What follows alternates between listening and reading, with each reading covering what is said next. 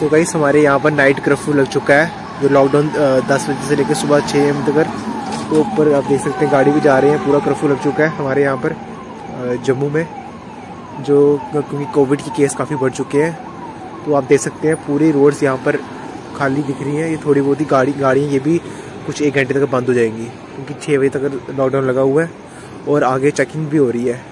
कौन सी गाड़ी आ रही है, वहाँ पर चेकिंग भी हो रही है तो उनको परमिशन मिलेगी कि आपने कहाँ जाना है तो उसके बाद ही उनको जाने दिया जाएगा। कोई तो ऐसे वैसे फालतू बाहर नहीं निकल सकता रात को। क्योंकि गाइस केसेस काफ़ी बढ़ रहे हैं कोरोना के। तो आई होप कि जल्दी से जल्दी ठीक हो जाए बीमारी। पर कहते हैं तो अब कोई पता नहीं आगे क्या होता है। पर लॉकडाउन लगाना काफ़ी ज़रूर था। पर इन्होंने नाइट कर्फ्यू लगाया हुआ है अभी। चलो ठीक है, अगर केस क्योंकि आज भी काफ़ी हमारी जम्मू की यूनिवर्सिटी है, वहाँ भी केस आए बड़े। साइंस कॉलेज के भी केस आए हैं। तो काफ़ी अच्छे, ज़्यादा केस आ रहे हैं यहाँ पर।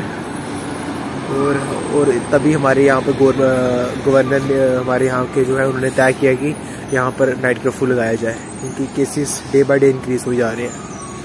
अभी देख सकते हैं, अभी थोड़ी गाड़ी ये भी बंद हो जाएँगी। और वहाँ चेकिंग हो रही है। तो बस मेरा यही था बनाने का, मैं बता दूँ आपको कि बस हमारे जम्मू कश्मीर में नाइट कर्फ्यू लग चुका है और सब सेफ़ रहो, अपना ध्यान रखो और जितना हो सके बाहर कम निकलो और भीड़ भर वाली जगहों पे ज़्यादा मत जाओ। और अपने जब भी जाते हो बाहर तो मास्क ज़रूर पहने क्योंकि मास्क डालना बहुत ही ज़रूरी है गाइस और डिस्टेंस मेंटेन करके रखें और सैनिटाइज करते रहें। बस यही था मेरा आज के लिए, और ठंडी हवा भी काफ़ी अच्छी चल रही है। ये हमारा फ्लाई ओवर का व्यू आपने पहले भी देखा होगा। तो अपना ध्यान रखें टेक केयर क्योंकि गाइस सेफ्टी फ़र्स्ट है, और अपने आप को फिट रखो और ठीक रखो।